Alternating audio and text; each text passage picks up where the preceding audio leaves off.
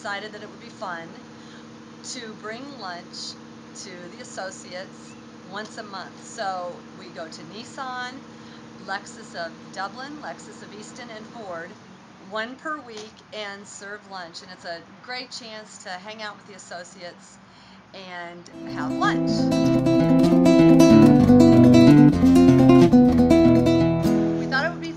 Month of May to make donations to the Mid-Ohio Food Bank. So we came up with a plan and a competition.